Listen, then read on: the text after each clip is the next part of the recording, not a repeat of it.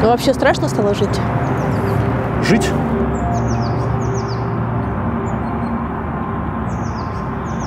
Слово «война» слишком понятно объясняет, что происходит. Поэтому слово «война» у нас запрещено. Государство не может быть неправым. Если оно что-то допускает какие-то ошибки, это перегибы на местах, но в целом все в порядке. Алло, а у нас представление о том, что такое хорошо, что такое плохо, вообще в порядке? И привычка к беспомощности, она передается на генетическом уровне? Да, любой, кто творит что-то страшное, это какой-то другой, это какой-то не я, это какой-то нелюдь. Когда виноваты все, не виноват никто. Государство не имеет навыка отвечать за свои преступления. Поэтому почему бы их не повторить?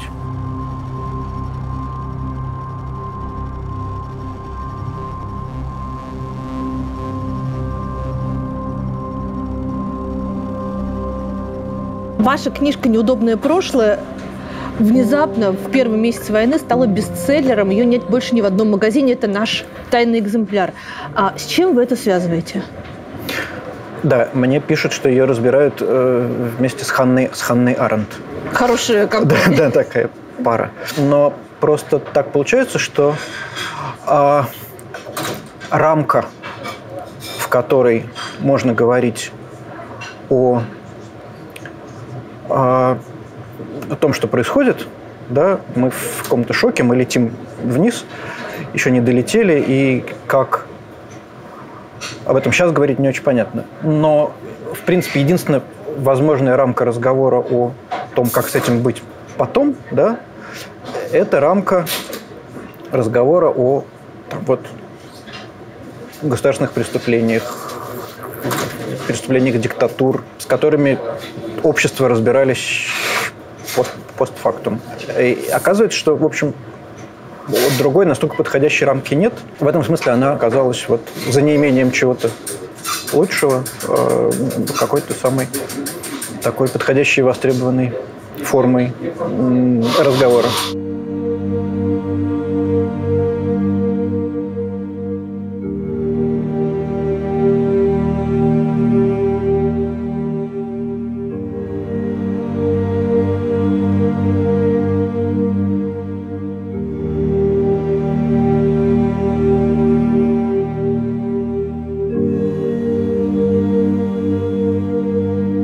Это вы придумали снимать на речном вокзале, поэтому мы стоим перед э, зловещими цифрами 33-37. Мне кажется, это хорошая иллюстрация к большому разговору о том, как быть с сталинским советским наследием вообще. Потому что есть очень простые ходы, что вот от всего нужно либо отказаться, либо это все нужно радостно и с гордостью принимать, либо в этом нужно каяться, либо этим нужно гордиться. А вот эта вот картинка – это какой-то компромисс. Это хорошая иллюстрация того, что да, это, это все сталинское советское наследие.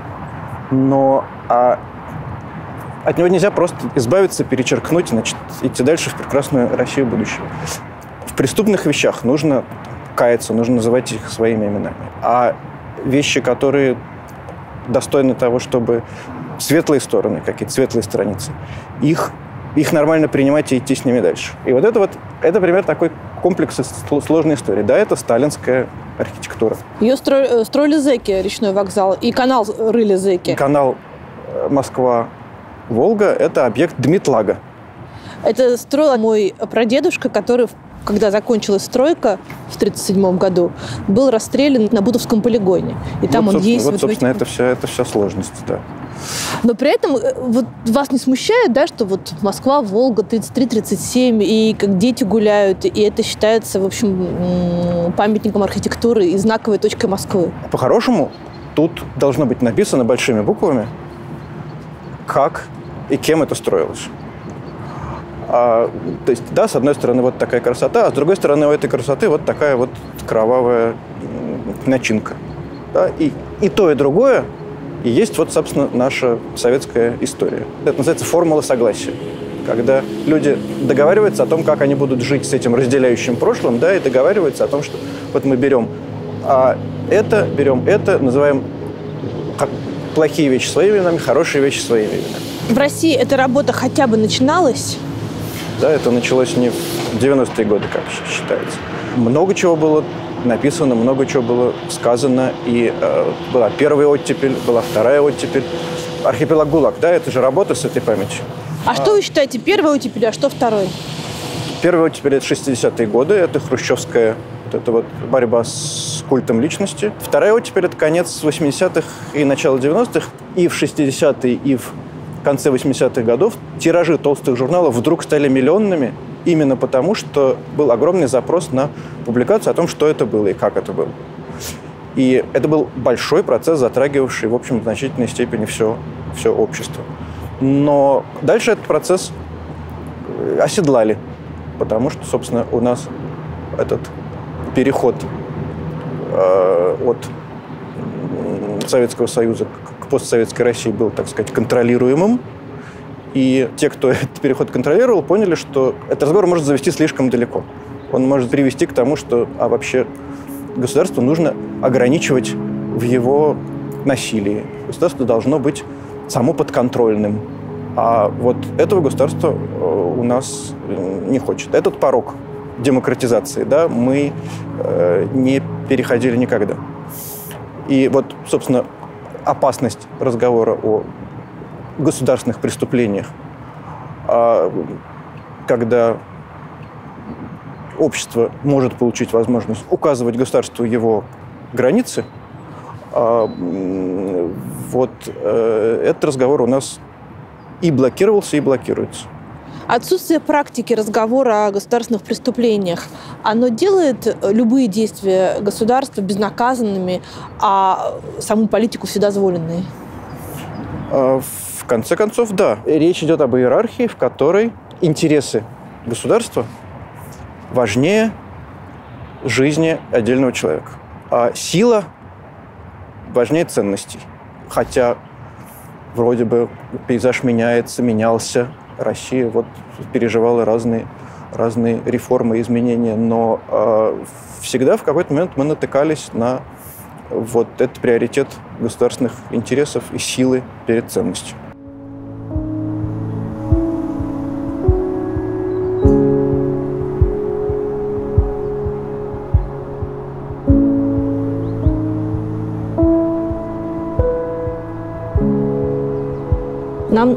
Нужно будет выбрать цвет. Черный? Черный. Ну хорошо, значит, будет черный.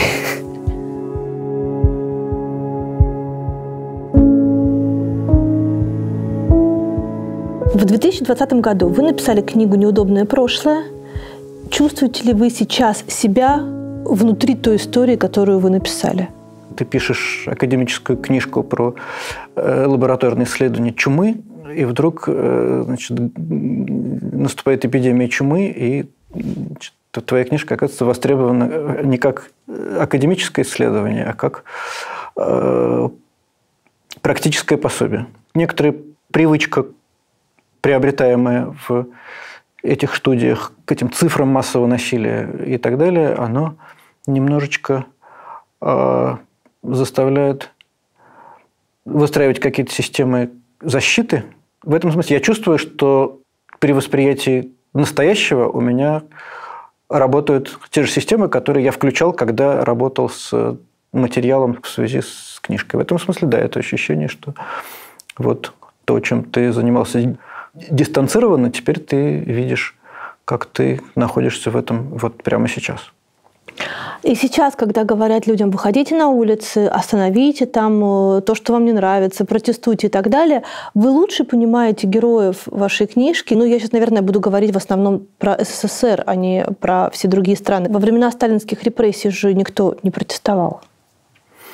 Да-да, это еще даже в виде претензий высказывалось в адрес э, евреев в Германии, в частности, евреями э, в Палестине, что в Европе остались те, кто не хочет возвращаться в землю предков и хочет как-то интегрироваться и так далее, что, в общем, не очень правильно. И э, вот евреи шли в концлагеря, не пытаясь сопротивляться. И вот эта претензия к евреям, и э, вопросы, которые звучат к э, гражданам СССР, это вопросы извне.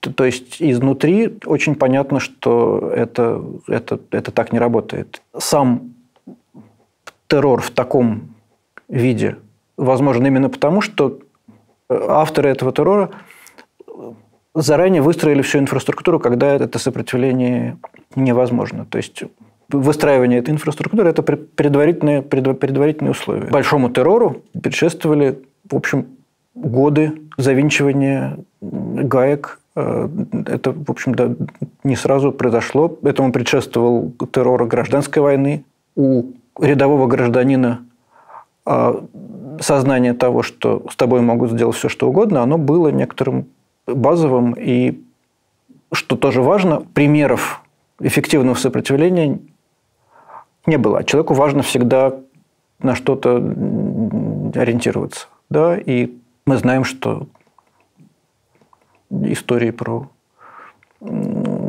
какие-то восстания в концлагерях это и в Германии, и в э, э, ГУЛАГе это скорее э, исключение. Привычка к безмолвию и привычка к насилию и привычка к беспомощности, она передается на генетическом уровне? Есть целое поле, которое называется исследование постпамяти, о том, как травма передается э, следующим поколениям.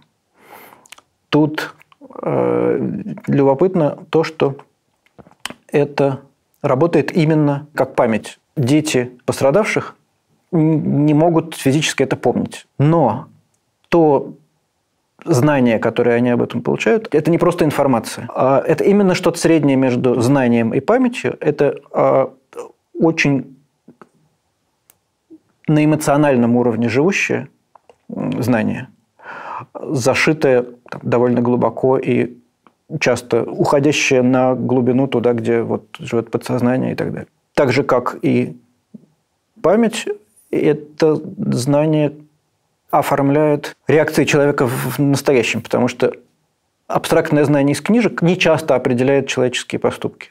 Нас определяет, наши поступки определяет память, какой-то базово лежащий на каком-то глубоком уровне страх. Вот то же самое знание о том, что государство с тобой, с тобой может сделать, что за тобой могут прийти, что с государством не стоит спорить, не стоит качать права и так далее, и так далее. Вот это правда живет на уровне очень глубоком, и это штука, заложенная не моим личным опытом, да, а опытом предков. И известно, что это называется феномен третьего поколения, переосмысление э, наследия гражданской войны в Испании началось э, внуками жертв, внуками тех, кто это переживал. Потому что ну, понятно, те, кто это переживал, либо лежат в могилах, либо у них слишком все заблокировано. Их дети напуганы, и у них вот на этом самом э, уровне постпамяти это все живо и мешает им что-то делать. А внуки оказываются уже в значительной степени более свободными. И э, есть э, много историй, как там, внучка раскрутила бабушку на то, чтобы э, судиться с государством и заставить э, испанское государство идентифицировать останки там, ее мужа, то есть дедушки этой девочки. Ну и в Германии тоже э, поколение 68 -го года. Это в значительной степени не дети, а внуки, и та реальная картина какого-то переосмысления нет на уровне каких-то отдельных там, книжек, политических решений и так далее. Когда это стало общественным процессом в Германии, 80-е годы, да, это время, когда э, активными становятся э, внуки тех, кто э, это все переживал. То есть на уровне второго поколения постпамять действует и действует блокирующе, а дальше появляется некоторая свобода по отношению к этому опыту, возможность его а, как-то критически осмыслять и ему сопротивляться и что-то с этим делать.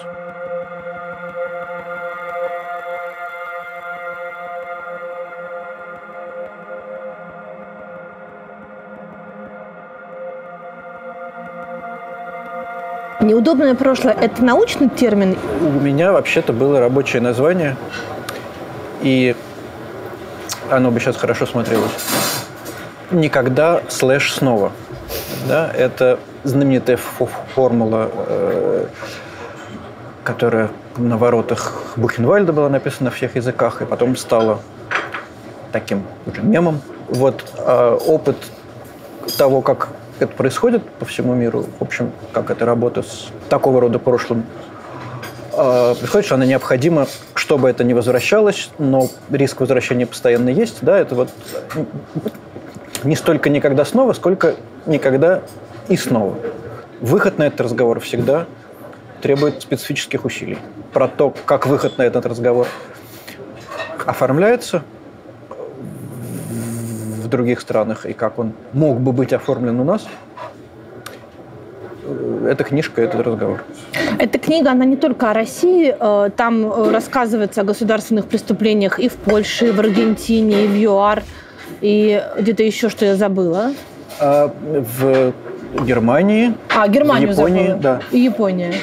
Собственно, главная идея была э, как раз в том, чтобы показать, что мы такие не одни. Самый главный мой вывод из того, что я сам узнал, когда я писал, что для меня не было э, очевидным, что э, нельзя просто забыть опыт почти всех стран, которые с этим как-то имели дело, говорит о том, что э, просто забыть массовое насилие против своих граждан, просто оставить это в прошлом и двигаться дальше, не проговорив, не назвав своими, своими именами, невозможно. Это будет вытесненная в подсознании травма, которая так или иначе даст о, о, о себе знать. Мы в этом не одни. Это не уникальная наша ситуация. Когда я ее начинал писать, было ощущение, что вот есть мы с нашим уникальным опытом государственного террора, и есть еще Германия, которая вот покаялась. Пример Германии не помогает, а мешает, потому что это как вот вот ты плохо учишься, а, а Вася Петров из параллельного класса, вот он отличник. Тебе это никак не помогает учиться лучше, а скорее повергает тебя в депрессию. Пример Германии, у которых вот, как, вот посмотрите, как у них здорово все получилось.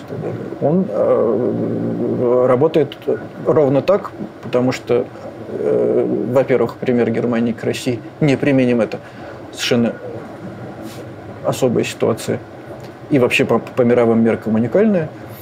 А, и Б, в Германии все было тоже очень непросто и заняло довольно много десятилетий, прежде чем они так называемо покаялись.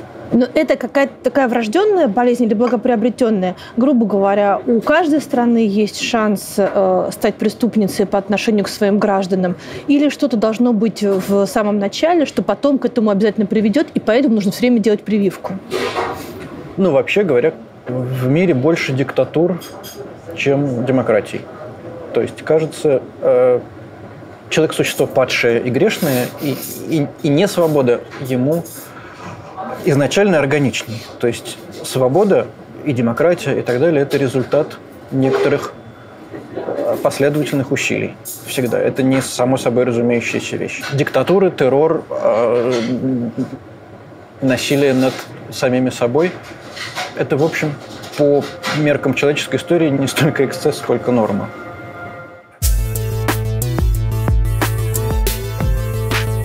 Чиндун Лончен и Фан Чанг – два важнейших понятия в современном Китае. Первое – это проект «Золотой щит». Это государственная система фильтрации информации в интернете. А второе дословно переводится как «перелезть через стену. Вбивая эту фразу в интернете, китайские пользователи получают набор инструментов, которые позволяют обходить цензуру, например, VPN-сервисы. В нашей новой реальности VPN-сервисы тоже очень актуальны. И теперь они нужны не только для путешествий. Выбор таких сервисов огромный, и найти самый оптимальный очень непросто. В моем телефоне установлен Surfshark. И сейчас объясню почему. Во-первых, безопасность. Surfshark использует надежное шифрование и предотвращает утечки, чтобы никто не мог определить местоположение вашего подключения. Также здесь не регистрируют ваши действия. Серверная сеть оснащена только оперативной памятью. У сервиса больше трех тысяч серверов в 65 странах, поэтому всегда можно найти подходящую геозону, чтобы разблокировать нужный контент в конкретном регионе. Очень удобно, что приложение доступно для всех платформ, и по одной подписке его можно использовать на неограниченном количестве устройств одновременно. Сервис можно максимально адаптировать под себя и добавлять удобные функции. А если возникают какие-то вопросы, онлайн-поддержка доступна 24 на 7. Переходим по ссылке в описании, скачиваем VPN-сервис Surfshark и пользуемся интернетом безо всяких ограничений. А по промокоду Гордеева получаем скидку 83% и 3 месяца в подарок.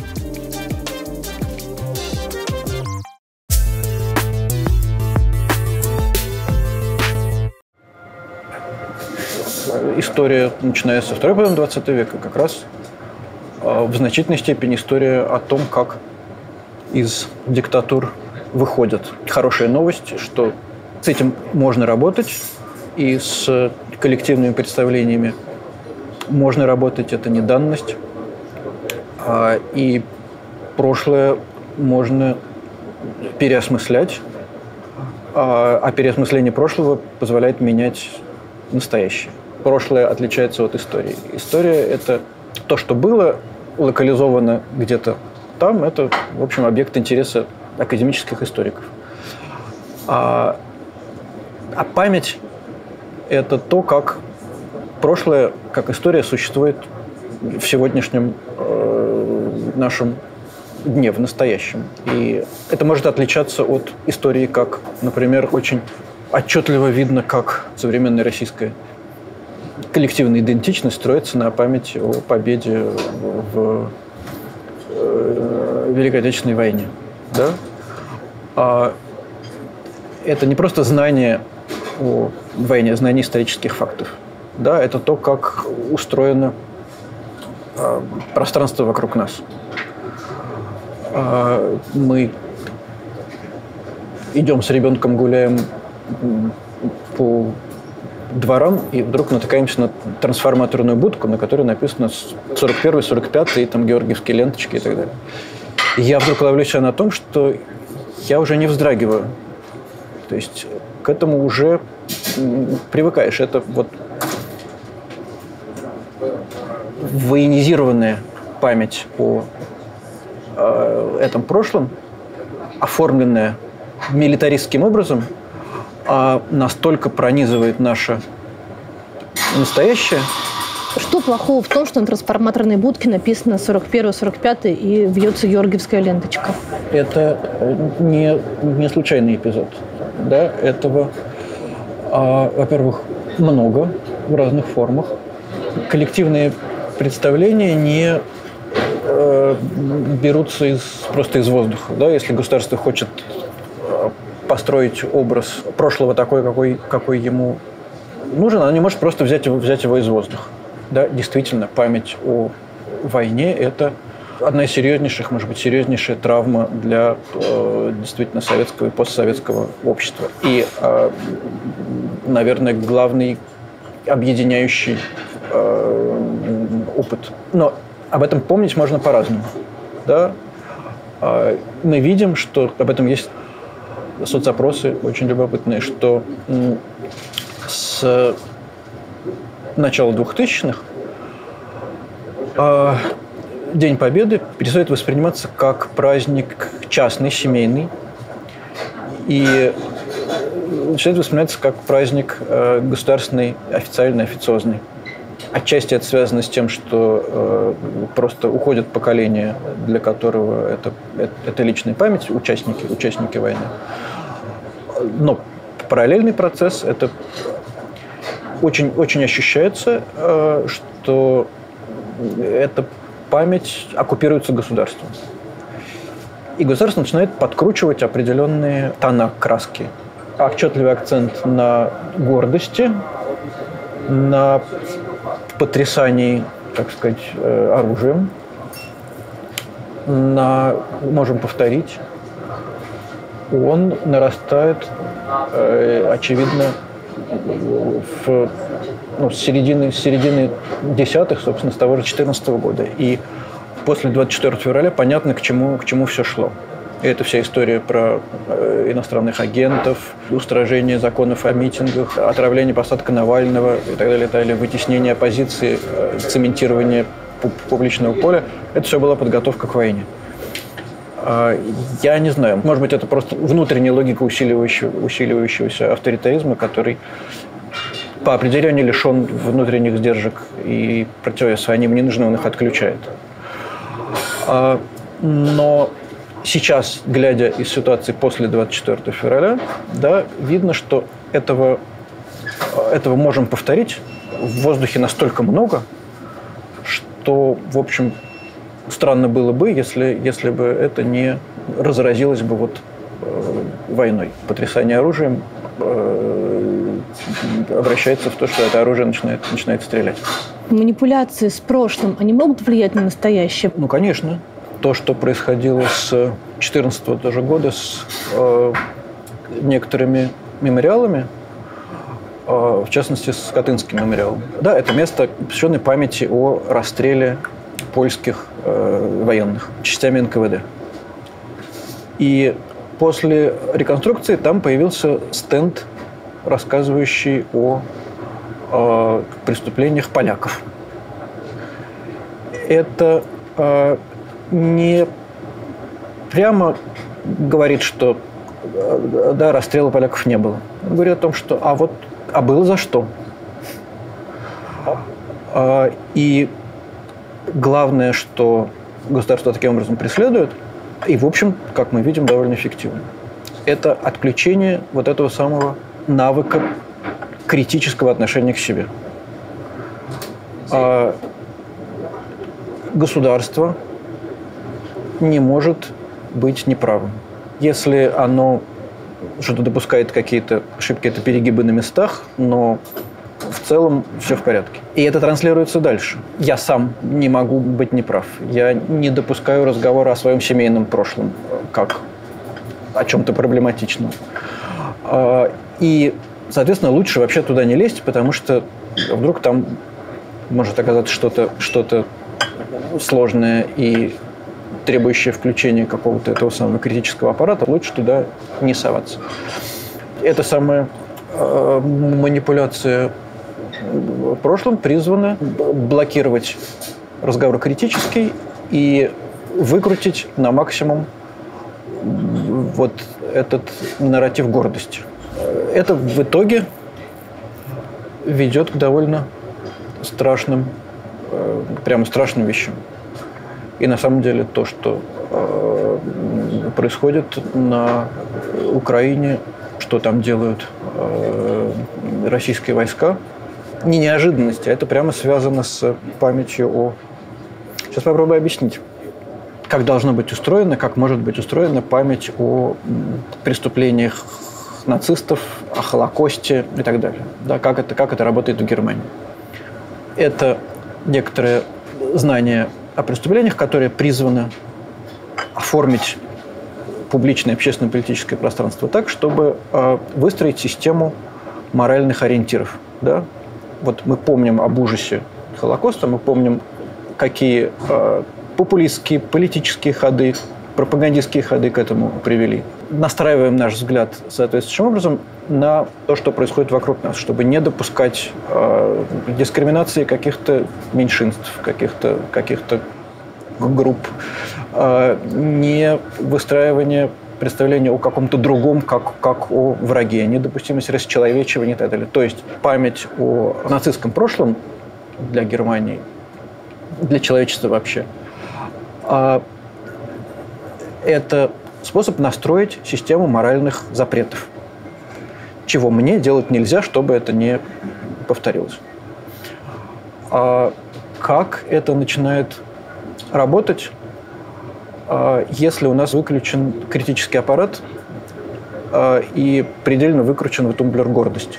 Фашистами и нацистами, и преступниками а, начинают считаться какие-то другие, которые вот эти все ужасы творят. Я ни в чем не виноват, я борец с фашизмом и нацизмом, я победитель, освободитель и так далее. Вся эта память настроена на то, чтобы помнить о том, какой плохой другой фашист. фашист. А, так, кстати, было устроено, например, память о э, Третьем рейхе в ГДР. Там э, все нацистское прошлое было как бы переадресовано в сторону ФРГ. И я напомню, Берлинская стена называлась официально на пропагандистском языке антифашистский вал.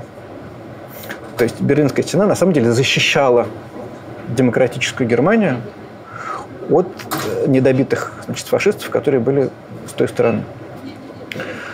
А, и получается, что эта память, которая должна работать как система моральных запретов мне, работает наоборот как система, э, отменяющая мораль. Как так получилось, что а, вот э, самые такие, наверное, знаковые и негативно окрашенные слова, как э, фашисты, нацисты, они сейчас опять всплыли и они оказались применимы к Украине? Ровно потому, что э, это э, единственный понятный язык, которым работает пропаганда. Другого, собственно, понятного широким массам врага у нас не, не, не существует. Логичным образом врагом и фашистом оказывается тот, с кем в настоящий момент у нас конфликт. Ну, это в принципе так работает. А в нашей ситуации это эти самые коллективные представления о там, враге используются, чтобы эту ненависть возгреть и обратить на значит, избранный объект.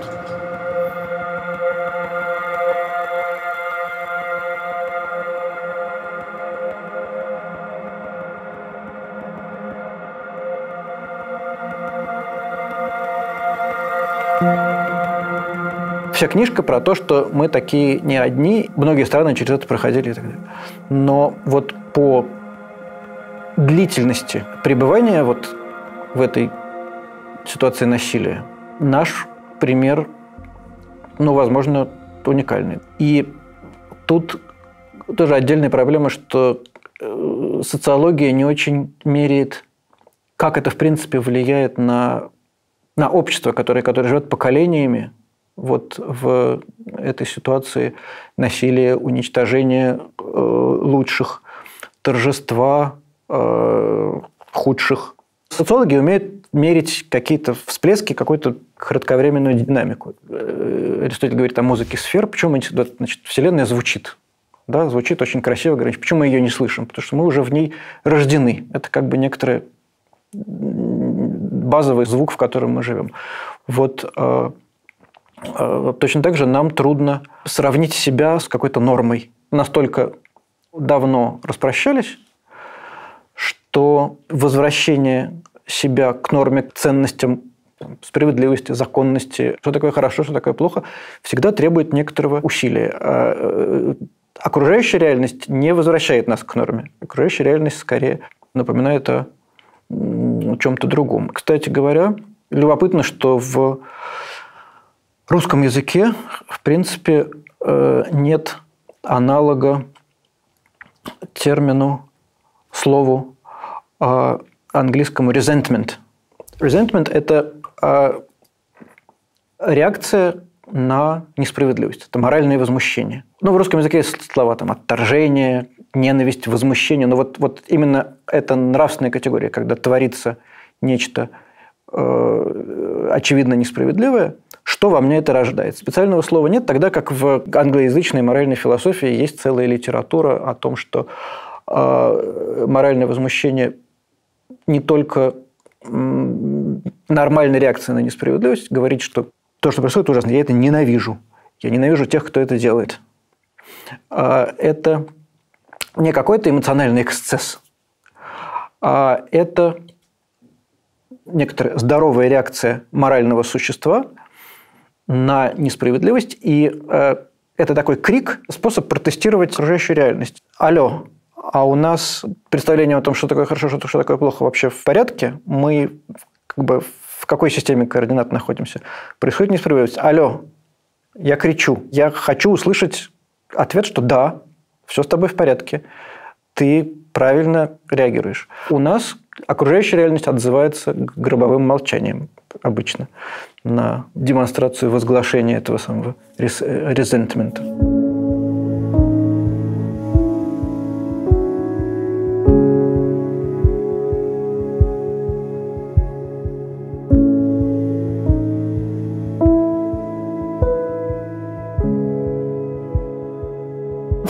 Опыты стран, которые здесь осмыслены в этой книжке, они, в общем, более-менее говорят о том, что больше никогда возможно только при одном условии, когда действительно происходит осмысление и действительно какие-то действенные вещи типа иллюстрации. Правильно ли я поняла, что в России самой главной проблемой стало отсутствие э, иллюстрации и какого-то внятного государственного взгляда на преступления прошлого?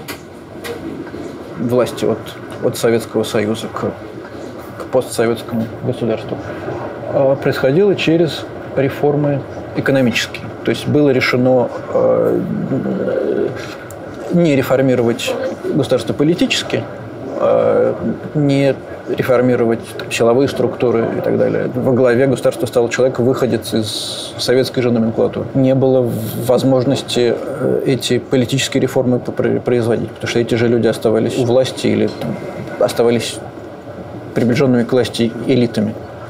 А, и было решено действовать косметически, действовать, облагораживать, так сказать, вот быт, э, экономическую реальность. А э, политический институт подстроится. Экономические реформы вместо политических. В общем, а, вся советская инфраструктура осталась в действии, в том числе, в том числе силовая, репрессивная и, и так далее. Кроме того, не было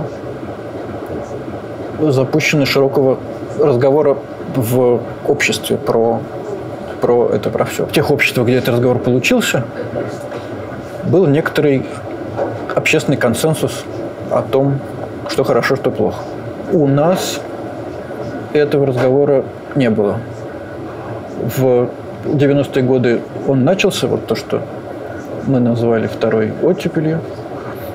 Был запрос на это снизу, но э, довольно быстро болезненность реформ э, отодвинула разговор о э, вот этом трудном прошлом на второй план. Довольно большая часть общества э, чувствовала себя от этого разговора отодвинутым.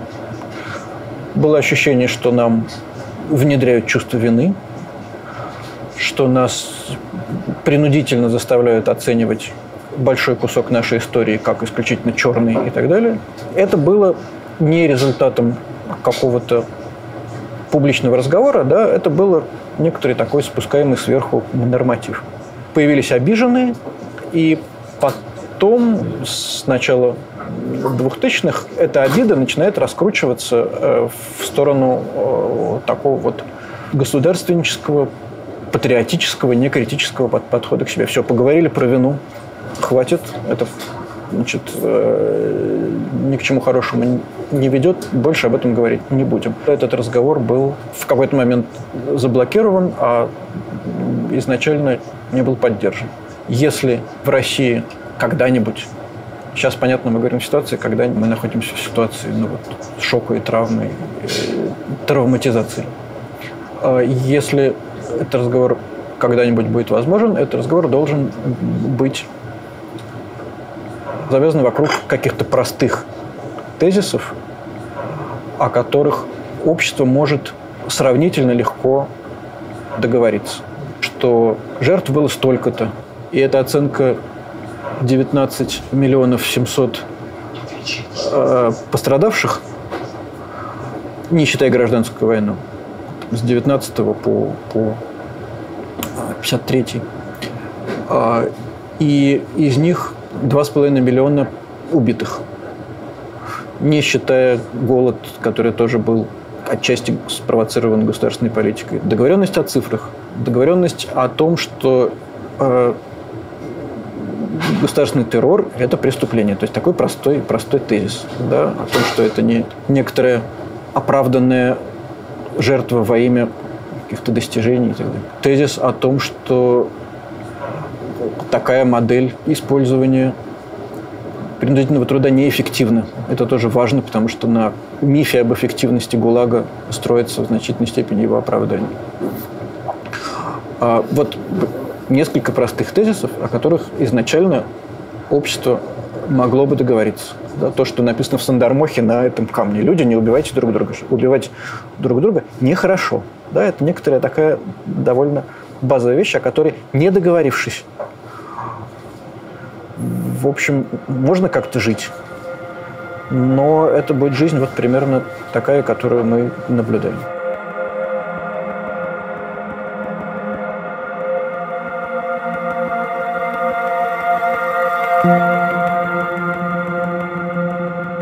Сейчас э, люди, которые там пытаются рефлексировать и которые видят фотографии из Бучи, они говорят, это точно не мы, это какие-то другие люди. Вот это точно не я, не, не моя семья, я не знаю этих людей. Но ведь это же неправильно. Это же точно такие же люди, которые живут рядом с тобой, ездят с тобой в метро или на автобусе, в маршрутке и так далее. Э, как осознать, что с ними случилось, что они стали способны на такое? Вот это такое расчеловечивание, которое происходит в режиме реального времени.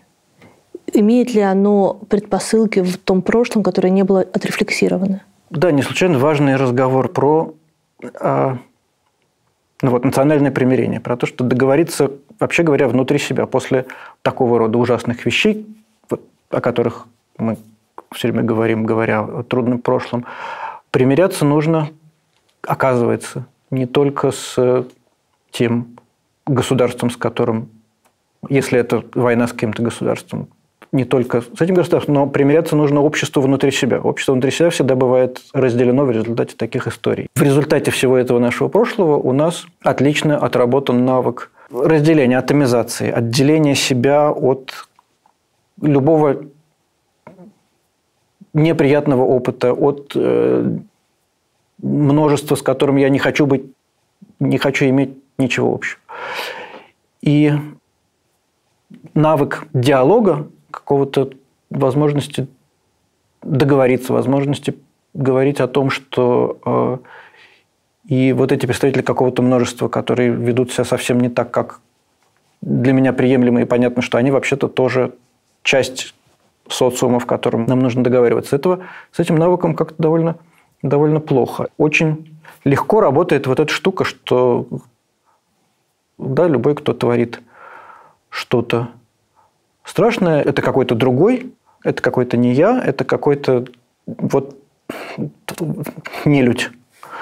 А, а вообще говоря, это движение расчеловечивания оппонента, оно нужно же для того, чтобы э, отключить моральные запреты. Да, относительно того, кто чудовище, да, будь то враг, будь то представитель какого-то твоего же социума.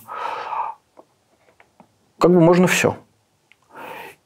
Тогда как разговор о проработке травматического опыта, принятии его, это, собственно, обратное движение. Это движение в человечивание э, другого противника, оппонента. А довольно, да, легко говорить, когда мы видим ужасы из фотографий из Бучи, что это делали какие-то звери, и я не хочу с этим иметь ничего общего.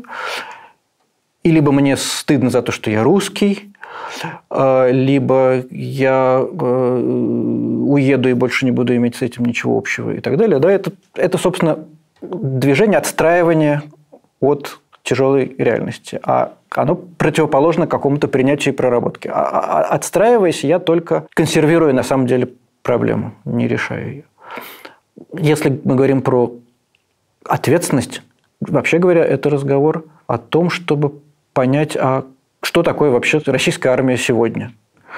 Что в значительной степени это а, результат ну, социальной катастрофы, которая там, последние десятилетия в России разворачивается, когда а, жители больших городов, где, в общем, получается благополучие какое-то, наладить какой-то экономический рост и так далее. Совершенно выключили из своей картины мира малые города, провинции и так далее, где, в общем, все социально довольно ужасно, и э, где немного социальных лифтов каких-то. И армия, вообще говоря, как контрактная армия, э, это социальный лифт один из, один из немногих. Да? И когда э, люди из среды, в которой там, нормально пьянство, нищета, домашнее насилие, выбирают этот самый социальный лифт, очень трудно в такой ситуации сохраниться э, как как, как моральный субъект. Да? К тому же, когда мы знаем, что в ситуации войны э, дополнительно отключаются моральные, моральные запреты. Когда у тебя и так все не очень благополучно по понятным объективным причинам воспитания среды и так далее, тебе еще и разрешают э, делать все, что ты хочешь, когда ты знаешь, что там, твой оппонент это нацист, и, и, и значит, тебе рассказывают, что это нацисты, а против нацистов можно, можно все, это то же самое движение расчеловечивания. Происходит, в частности, то, что происходит в Буче. И я вот специально хочу сказать, что если мы говорим об ответственности, да, то ответственность в том числе а наша в том, что мы в какой-то момент выключили из своей картины мира – вот это очень неблагополучную э, э, Россию малых городов, моногородов, деревень и так далее. Э, понятно, что там государство в какой-то момент забило на развитие этой части реальности, но и общество, в общем, вполне себе это приняло. Ну, сейчас ведутся большие дискуссии про Э, ответственность и вину коллективную и личную. И э, часть голосов говорит о том, что нет никакой коллективной вины, есть персональная ответственность. А другая часть говорит, что есть и коллективная вина, и коллективная ответственность там, России как общества, как социума, как национальности. Перед этими вопросами о вине и ответственности уже общества вставали. В Германии довольно хорошо это получилось прописать, когда сначала Карл Ясперс, потом Хан Арендт очень четко разделили, э, во-первых, типы вины, а потом отделили вину от ответственности. И это не схоластическая такая штука. Они говорят о том, что э, да, вина бывает только личная. А говорить о вине коллективной это, во-первых, идти на поводу у архаических представлений, да, в которых существует кровная месть, э, сын отвечает за отца и так далее. Во-вторых, это просто практически бессмысленно, потому что если мы говорим, что там, некая общность, народ виновный, окей, что с этим делать? Да, если виновен конкретный вот этот человек, его можно привлечь к ответственности. Есть конкретное преступление, за которое мы можем с него спросить и каким-то образом наказать. Если мы части какой-то э, политической структуры, да, вот граждане государства, э, государство принимает э, ошибочные решения. И я как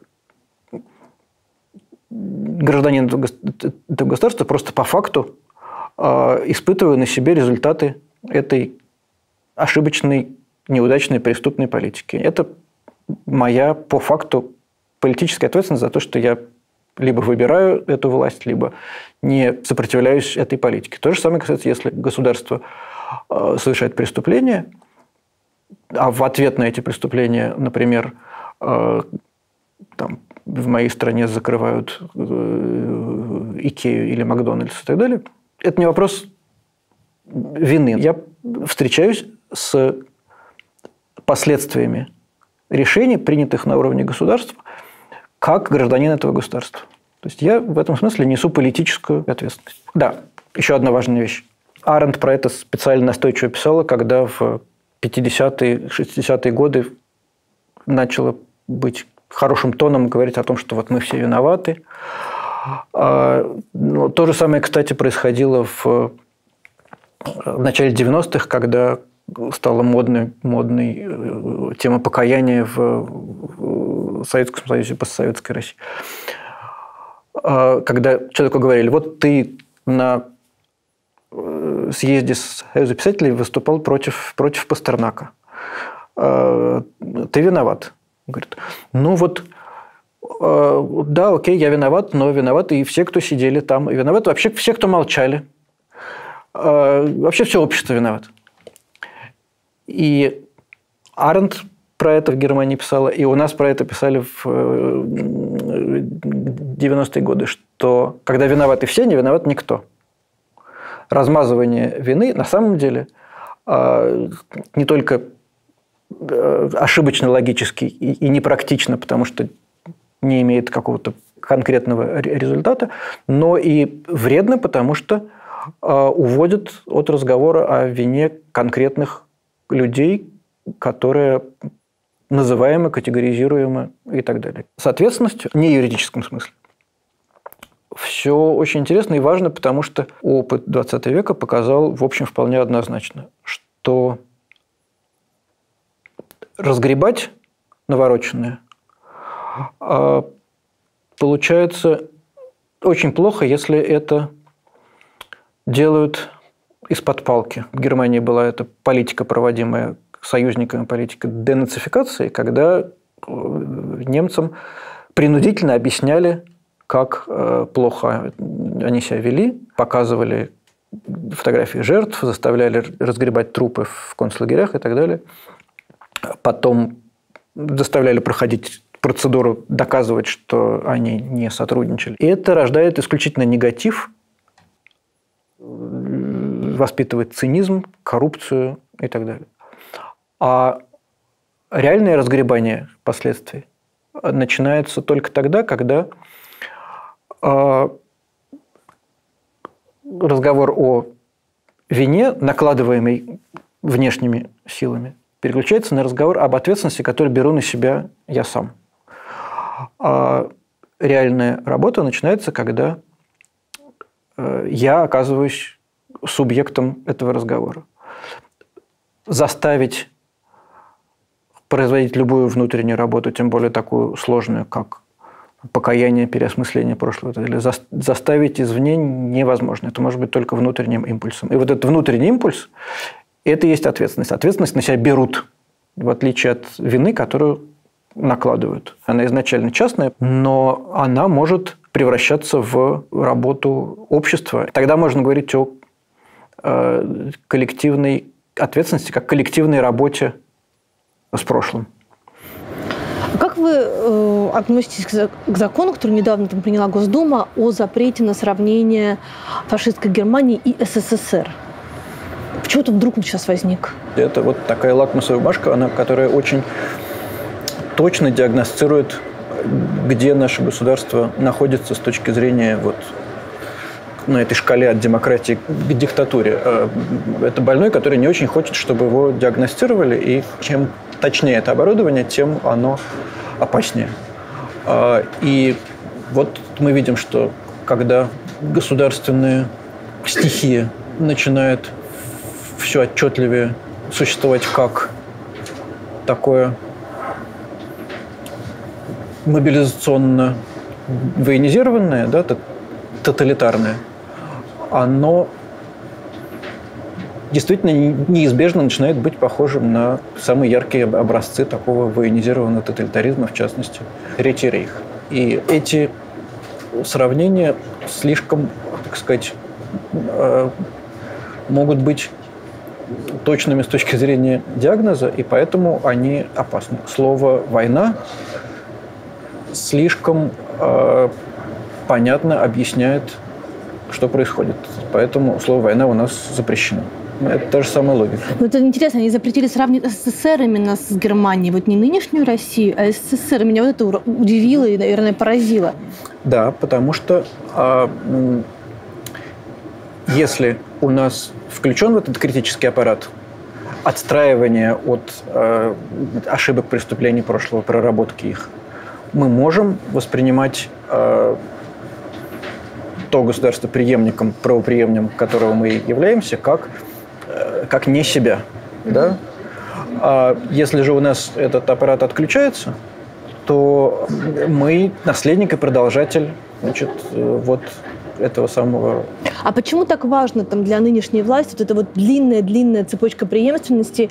А, я думаю, что все знают историю про то, как в 2018 году а, праздновали столетие там, ОГПУ, ВЧК, НКВД, КГБ э, и теперь они ФСБ. Да, и оказалось, что длинная для них непрерывная линия, которой они страшно гордятся. Потому что э, отречение будет означать переосмысление э, себя, переосмысление принципов, на которых все эти структуры существуют, и главным образом это означает разговор об ответственности. Разговор об ответственности предполагает невозможность вседозволенности и обязательную подконтрольность.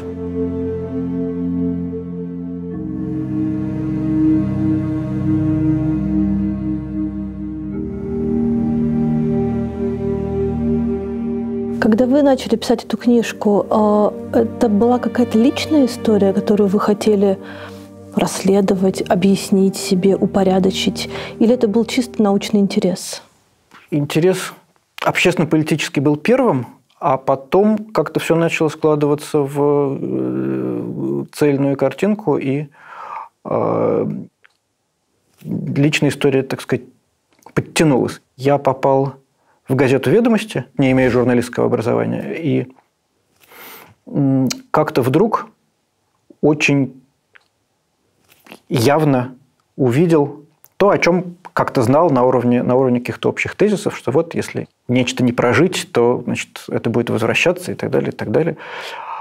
Но просто звоня каким-то э, спикерам, выясняя что-то про то, как работает российское государство, это были как раз с 13 по 17 годы я там работал. Я просто увидел, насколько рефлексы э, и советского, и, и конкретно сталинского прошлого продолжают э, действовать, что это прямо вот такие родимые пятна, которые прям присутствуют в системе принятия решений, в системе там, работы с обществом, в реакциях общества.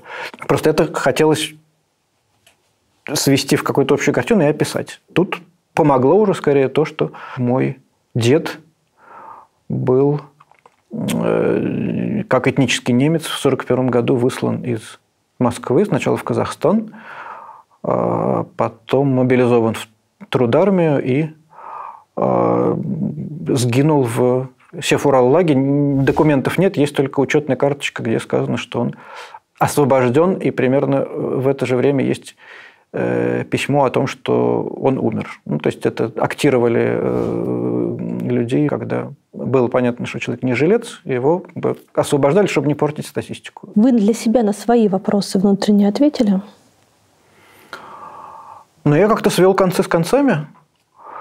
А, я понял, как выглядит работа с такого рода прошлым, как должно это быть устроено но э, какие-то вещи, которые мне мешали, на которых я стопорился, например, э, в вестибюле вот одного из выходов из метро Курская восстановили эту строчку из гимна «Нас вырастил Сталин на гордость народа». Ну, восстановили историческую правду. Вот восстановили эту строчку. Она там была, делали ремонт. И вот я до сих пор не могу ходить через этот вестибюль. Да, по-хорошему, там должна быть табличка, которая должна указывать, что вот этот, этот самый Сталин, который вот тут воспевается, да, вот на его э, совести столько-то миллионов жизней. Вот. И тогда эта картинка, эта, эта строчка как-то выстраивается в какую-то адекватную э, картину. А пока этого нет, э, это фактически оправдание преступлений и вот как в этой ситуации жить психологически, это по-прежнему проблема.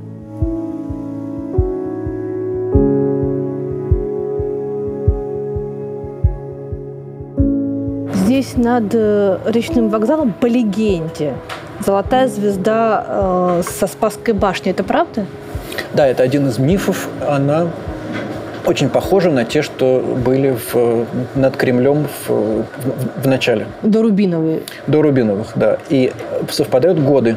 Потому что, кажется, вот, собственно, в 1937-м же э, их стали менять э, на Рубиновые. То есть, да, были орлы, потом орлы поменяли на звезды э, вот такие вот медные, а потом стали менять на рубин.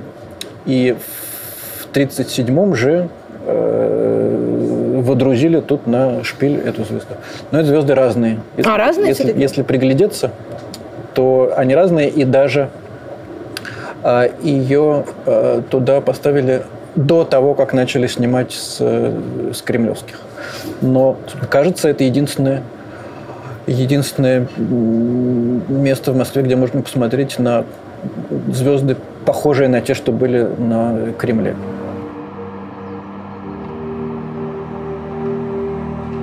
Вот у меня смешанные чувства. С одной стороны, здание действительно красивое, с другой стороны, мне здесь не хватает там каких-то маркеров о том, как это все было сделано и какой ценой.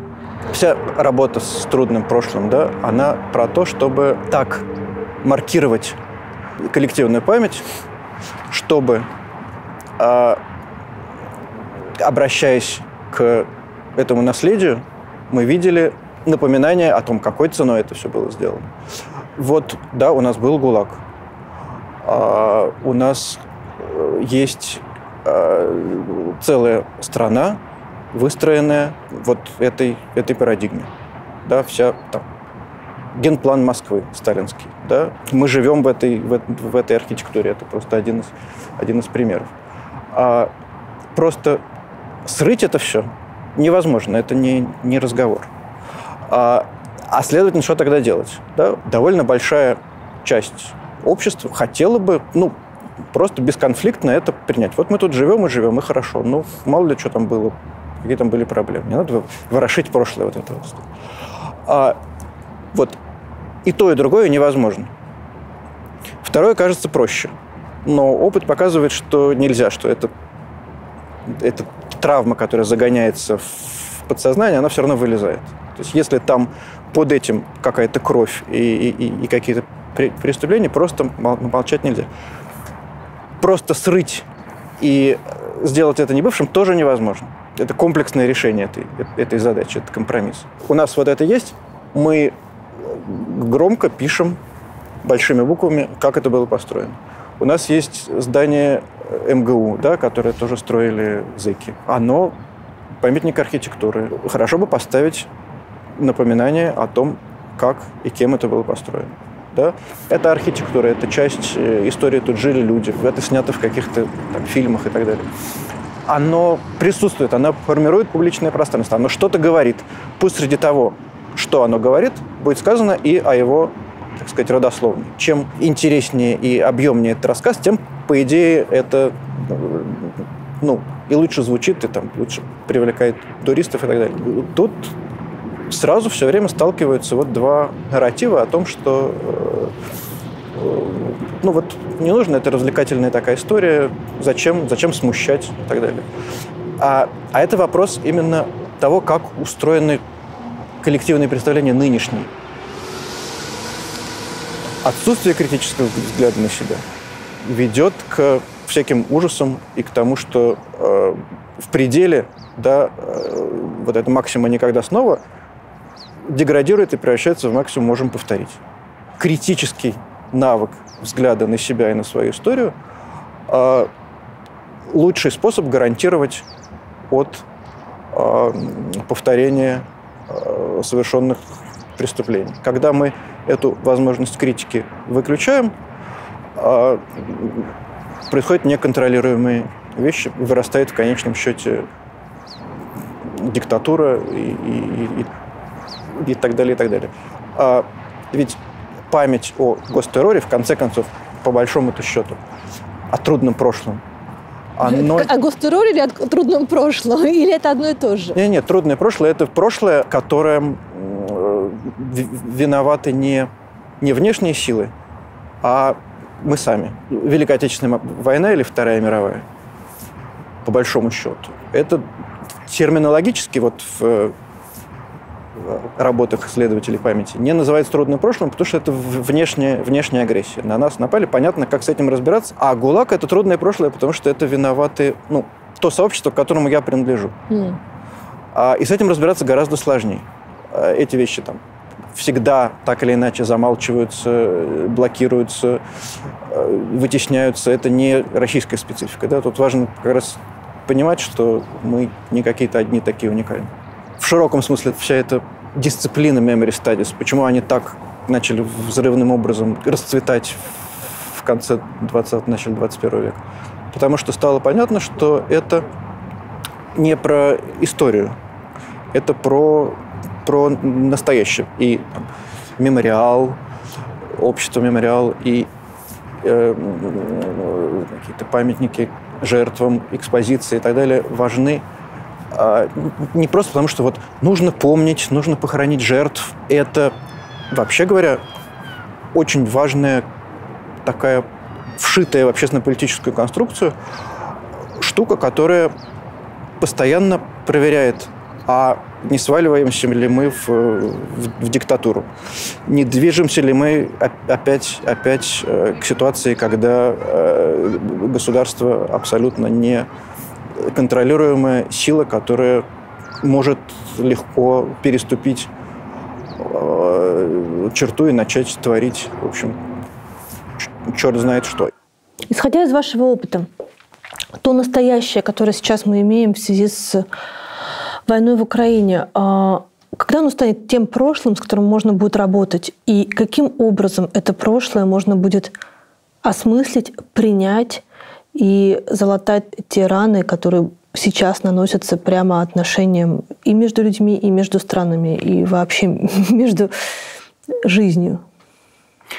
Ну да, тут нужен такой сказать дисклеймер, что в принципе этически, не знаю, проблематично говорить, находясь сейчас в ситуации вот войны, да, о том, как мы будем потом ее разгребать, да. Тогда давайте да. с простого. Угу. Как обычно а, ведут себя режимы, по отношению к э, тем насильственным вещам, которые они совершают. То есть какой есть процесс принятия э, зла, которое э, сотворил режим. Есть даже э, картинки, схемы и так далее, э, что для начала насилие должно закончиться. Субъекты этого разговора, да, общество, э, должно чувствовать себя в э, безопасности. Я думала, вы скажете умереть. Нет, он должен чувствовать себя в безопасности, потому что это как работа, работа с травмой. Терапия не может вестись, если э, жертва не чувствует себя в безопасности, не чувствует себя изолированной от насильника. Пострадавшие и разделенные внутри себя общества тоже должны быть освобождены от э, насилия любого от, от, от давления. Тех, кто хочет их перевоспитать, от давления тех, кто э, хочет их наказать или научить правильно, как значит, себя вести. Должно быть значит, остановлено насилие. Субъекты этой работы должны чувствовать себя в безопасности. Э, и дальше э, первое должны быть приняты, признаны публично факты того, что произошло всегда. Это не аномалия, а закономерность, когда любые преступления сначала, о них сначала молчат, потом мифологизируют, говорят, что либо нас там не было, либо они сами, либо это все выдумка. А затем наступает признание фактов. Дальше следующий этап – это разговор о, о компенсациях каком-то торге о том, что если я хочу быть допущенным в международную политику, я должен каким-то образом признать э, то, что я сделал, и идти на какие-то уступки. Это в завуалированном виде те же самые, те же самые компенсации. Затем это принесение извинений. Э, и затем это выстраивание э, мемориальной политики в образовании, в памятниках, в календаре памятных дат и так далее, а, призваны зафиксировать а, память об этом как определенным образом заряженную, да, что вот э, мемориал э, жертвам политических репрессий призван зафиксировать, что государство так делать не должно, что оно признает, что это было, и по-хорошему это повторять не нужно. А, вот последовательность и арсенал шагов, э, они, они такие. Сколько лет, как вы думаете, займет э, процесс признания, примирения, покаяния, связанные с тем, что сейчас происходит между Россией и Украиной? Не знаю. Это зависит от э, политической воли тех, кто будет э, стоять во главе России прежде всего. И э, можно только сказать, что мировой опыт говорит, что примиряться при желании и при, при наличии политической воли получалось после самых ужасных вещей. Облегчает это примирение, э, если общество цивилизационно близки, а если общество цивилизационно не близки, это Процесс затрудняет, например, колониальные преступления Бельгии в Конго, пример цивилизационной неблизости. Эта работа начинается только сейчас, потому что это, в общем, разные общества, это разные картины мира, разные ценности. А даже Германия и Израиль были достаточно цивилизационно близки, чтобы находить общий язык, и а, Аденауэр с Бен-Гурионом а, очень мило беседовали уже там, в начале 60-х годов. Ну, тут только поправка, да, возвращаясь к тому, что смотря кто стоит во главе государства и какая политическая воля, все-таки Аденауэр был антифашистом во время войны. А с Украиной у нас нет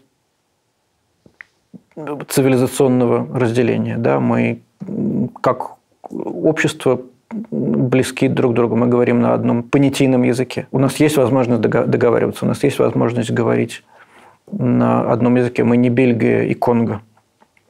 Да, но нужно, чтобы на это была э, политическая воля, нужно, чтобы э, власть в России сменилась, нужно, чтобы государство продемонстрировало волю к вот, всем тем шагам, о которых я сказал, э, признанию фактов того, что случилось, перенесение извинений на государственном уровне и так далее. Это работает, на самом деле, только так. Что должно сперва произойти? Примирение внутри общества российского или внешнее примирение, ну, там, с, например, с Украиной? Чем больше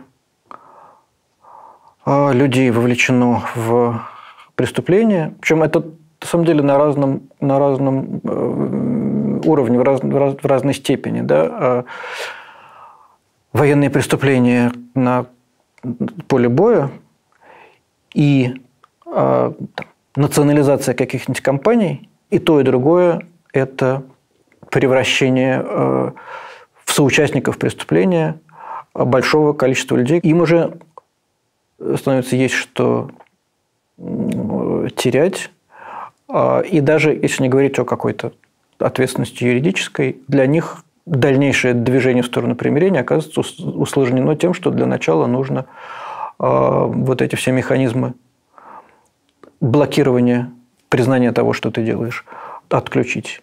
И а, это сильно усложняет и затрудняет всю работу. Вот это вот это ощущение, что мы в одной лодке, и нам значит, либо вместе выплывать, либо вместе идти ко дну. И разговор об ответственности в этой картине мира воспринимается как э, идти ко дну. Как каяться в том, что не проговорено и что вообще не принято за общую вину? Вопрос о покаянии все еще стоит в России остро? Штука с покаянием в том, что э, это очень личная и частная вещь. И это довольно трудно переносится на коллективный уровень. Не случайно слово покаяние – это слово из религиозного языка. А религия, по-хорошему, занимается э, частными личностными практиками. С покаянием э, проблема в том, что оно не может быть коллективным. Как только мы начинаем говорить о коллективном покаянии, а, начинаются злоупотребления. Почти всегда проекты коллективного покаяния превращаются в э, идеологизацию очень тонких, тонких вещей. Это всегда рождает отторжение, неприятие. В 1991 году была статья э, Михаила Ямпольского «Изнасилование покаянием». Он, собственно, говорил как раз о том, что когда вот эти тонкие вещи, которые должны быть э, личностными, э, превращаются в какую-то моду и в какую-то общественную кампанию, это всегда так или иначе принуждение, а в таких тонких вещах это, это не работает. А кроме того, еще одна тонкая штука, что это способ э,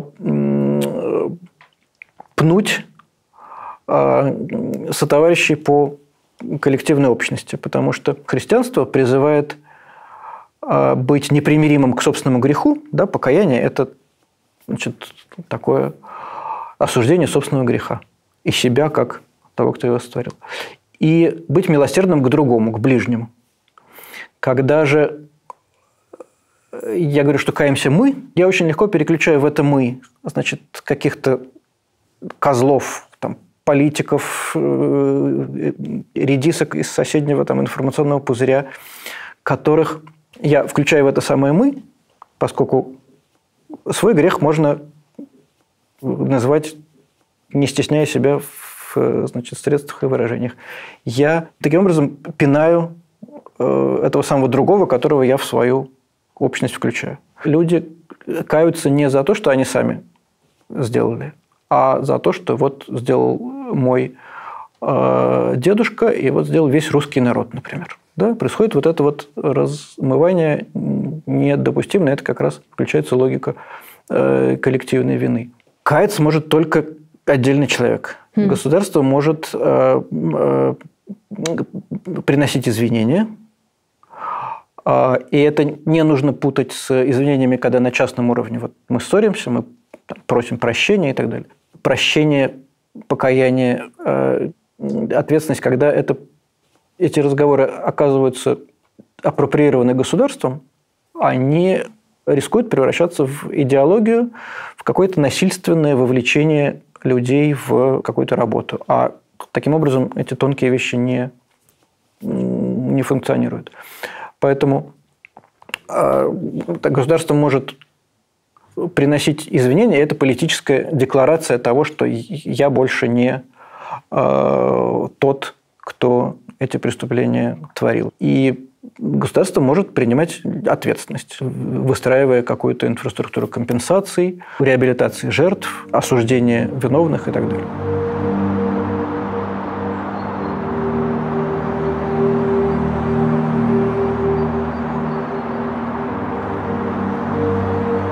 Вы ходите со стикером Пацифика. С Пацификом, да. Часто ли к вам в метро подходят полицейские? На третий, наверное, день войны я понял, что вот мне и уютно, если я как-то никак не свидетельствую о том, что значит, о своем отношении к происходящему. И я просто наклеил это скотч малярный. Я смотрю на реакцию встречных людей. Может быть, просто люди не очень знают, что такое пацифик. Не знаю, но люди, многие не реагируют никак.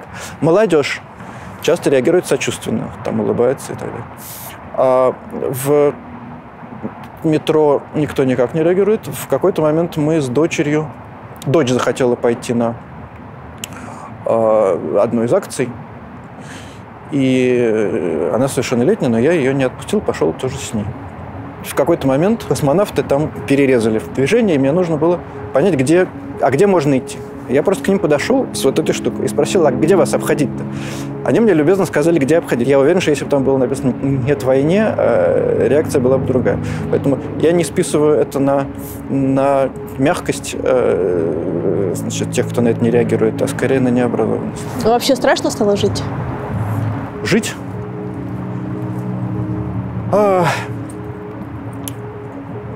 Хороший вопрос, потому что я в первый же день, 24-го, написал письмо моему знакомому, который 30 лет работает в таком городке Освенцим. Он немец, который вот э, под влиянием своей этой немецкой вины поехал сначала в Израиль с детьми-инвалидами работать, а потом в Освенцим, в музей Аушвиц. И, значит, он там он стал священником, и вот там 30 лет работает.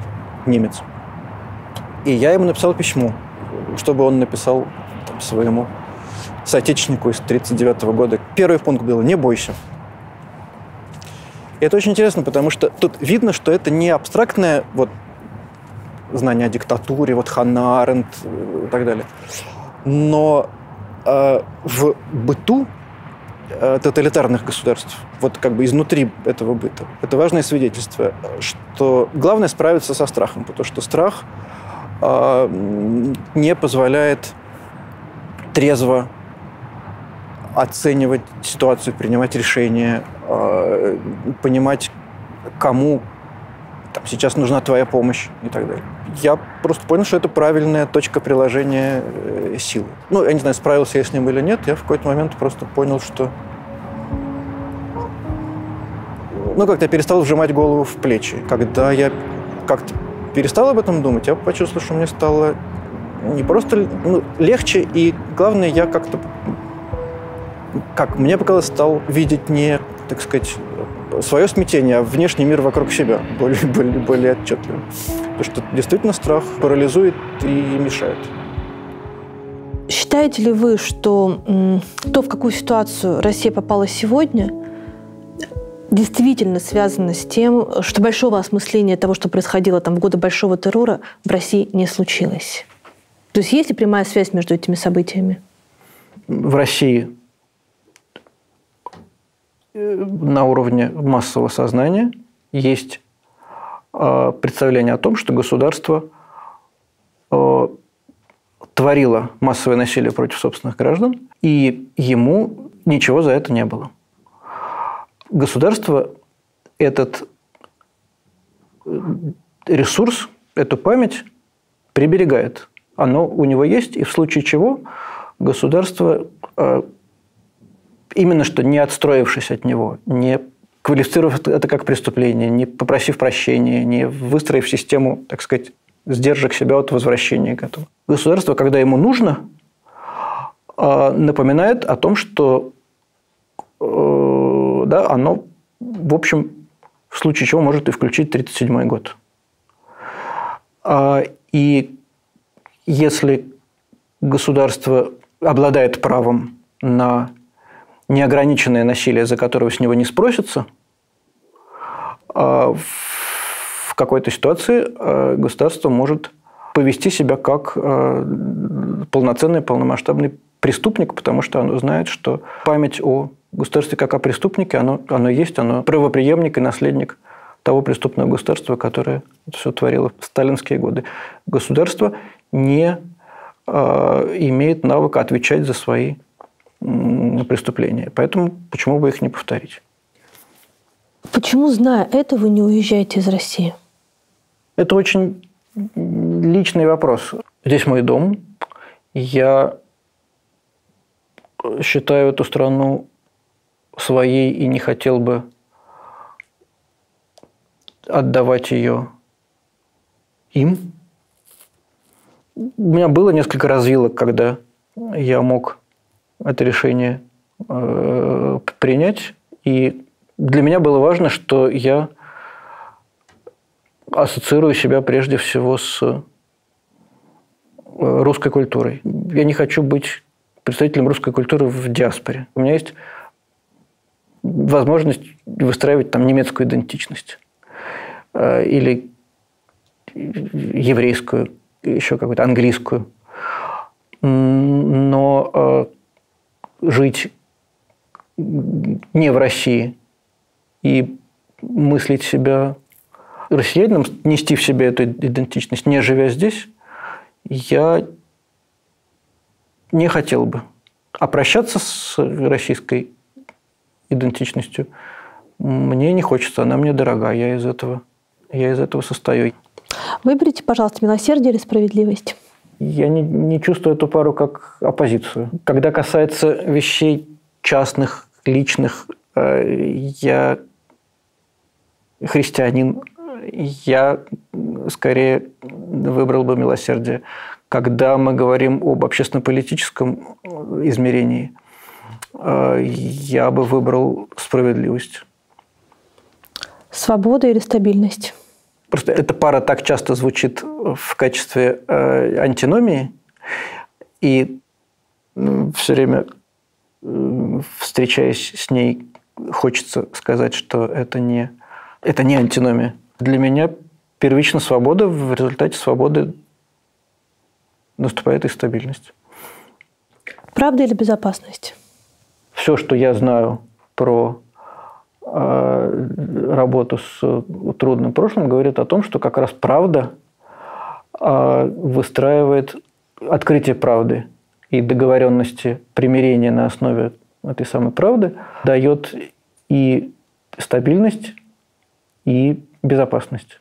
Я очень люблю пример, э, где-то я вычитал про Аргентину, где с каждым годом было все больше исков против государства а, за государственные преступления э, времен хунты.